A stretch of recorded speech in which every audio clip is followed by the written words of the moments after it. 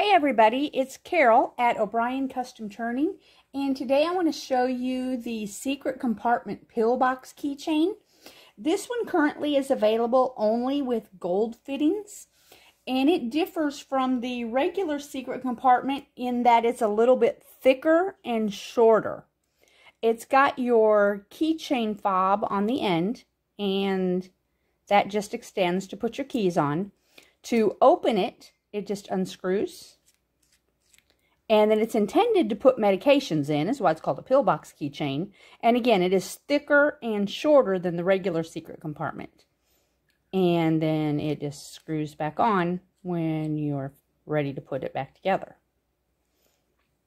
So again, that is the secret compartment pillbox keychain. If you have any questions, let me know, and I'll see you next time. Have a great day. Bye.